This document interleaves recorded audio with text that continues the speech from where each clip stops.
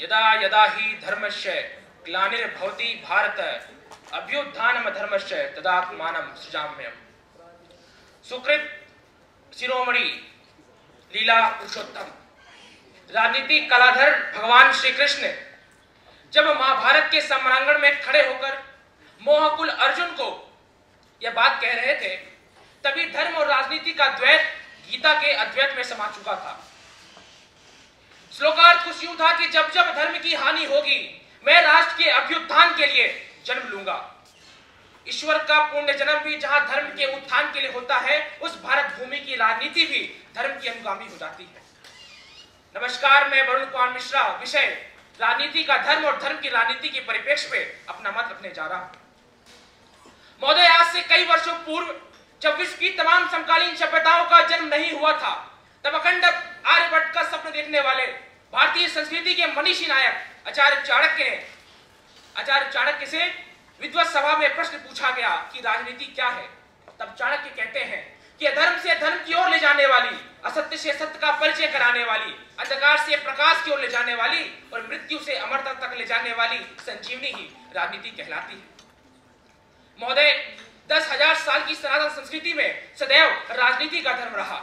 राजनीति में धर्म दंड मज़बूत रहा, ताकि ताकि राजा अनाचारी ना हो, ताकि राजा दुराचारी ना हो।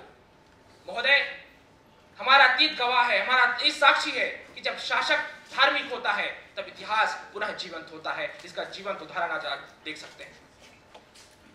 दोस्तों, भारत एक धर्म प्रधान देश है। भारत का प्राण ही धर्म है। हम बगैर धर्म के भारत की संकल्पना ही नहीं कर सकते। एक भारतीय जब सुबह सोकर उठता है तो सर्वप्रथम वह धरती माता के पैर पखाड़ता है। क्योंकि वह मानता है कि कश्मीर से कन्याकुमारी तक और सोमनाथ से सिलचर तक यह भारत मात्र भूगोलिक इकाई नहीं, बल्कि जीता जागता राष्ट्र पुरुष है, देवभूमि है। क्योंकि इस भूमि में कितने ही महापुरुष, कितने ही धर्मों और धर्मों और संप्रदाय के पैगंबर जन्मे और इसी माटी में विलीन हो गए। हमने पहाड़ों को पूजा, हमने पेड़ों को पूजा, हमने नदियों को पूजा, हमने पशुओं को पूजा, हमने कंकर कंकर में शंकर को पूजा। हमने जब भी जय घोष लगाए तो धर्म की जय हो, अधर्म का विनाश हो, प्राणियों में सद्भावना हो, विश्व के कल्याण हो की बात करें। ये हमारी धार्मिकता थी, ये हमारी थी कि सत्रह बार आक्रमण करने के बावजूद भी आज हमने सोमनाथ के मंदिर को जीवंत रखा। हमने राम मंदिर के लिए 500 सालों तक संघर्ष किया। ये हमारी धार्मिकता है। महोदय, जिस देश में धार्मिकता की पराकाष्ठा का स्तर यह हो, उस देश में लौकिक सत्ता की सर्वोच्च शक्ति यानी राजनीति को धर्म से पृथक कैसे किया जा सकता है, महोदय? महोदय, आज हमें समझने की आवश्यकता है कि किसी भी देश की राजनीतिक परिस्थितियाँ वहाँ की सामाजिक, राजनीतिक और धार्मिक परिस्थितियों पर आधारित होती है।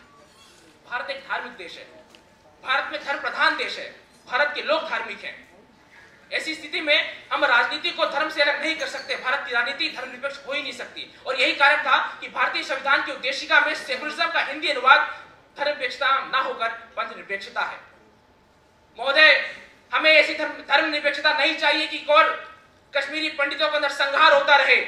ऐसी धर्मनिरपेक्षता नहीं चाहिए कि और दिल्ली में सिखों का कत्लेआम होता रहे। राम भक्तों पर नियत राम भक्तों पर गोलियाँ चलाई जाए। गुजरात के गोधरा में ट्रेन और बसों में नियत लोगों को मासूम लोगों को फूंक दिया जाए। और आज का आदमी मजहबी चूल्हे चूल्हे की लकड़ी बनने के लिए माता हो और सरकार मात्र धर्मपेक्षता का पाखंड रस्सी रहे। ऐसी ऐसी धर्मपेक्षता हमें नहीं चाहिए। आज हमें बदलाव की आवश्यकता है, वह बदलाव हमें खुद से लाने की आवश्यकता है। जिस दिन हम हिंदू, मुस्लिम, सिख, ईसाई यादव ब्राह्मण और राजपूत के नेता न चुनकर इस देश के नेता चुनेंगे। जिस दिन हम धर्म और जाति के नाम पर बटेंगे नहीं, दंगे नहीं करेंगे। जिस दिन हम ज़ोर जुट की टक्कर में संघर्ष हमारा नारा होगा। जिस दिन हम इस देश के हुक्मरानों से सीना ठोक कर कहेंगे कि जो आज साहिब मसनद है, कल नहीं होंगे। किराएदार है, जाति, मकान थोड़ी है। सभी का खून है शामिल इस मिट्टी में। किसी के बाप का हिंदुस्तान थोड़ी है। तब जाकर सही मायनों में तब जाकर और तभी हम परम वे भवन ने तुम्हें तत्व राष्ट्रम समर्था भगवतवा निशाते विषम के वाक्य को सार्थक करते हुए भारत को फिर से सोने की चिड़िया के रूप में नहीं, अभी तो विश्व का नाथ, विश्वनाथ के पथ पर आरूढ़ करेंगे। और पूरी दुनिया को ये बतलाएँगे कि रोम, यूनान, मिस्र मिट गए जहाँ से अब तक मगर बाकी है नामो निशा हमारा। कुछ बात है कि मिटती हस्ती नहीं हमारी। सदियों रहा है दुश्मन, दौरे जहाँ हमारा। पौधे धर्म की राजनीति का उदाहरण तमाम देखने को मिल सकता है।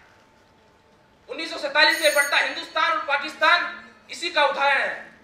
1930 में जर्मनी, अभी का इसराइल उन्नीस का जिम बॉम्बे, यह उदाहरण है कि किस प्रकार धर्म और राजनीति को मिला देते हैं तो किस प्रकार इस, ऐसी स्थिति बनती है जो देश के लिए हानिकारक होती है।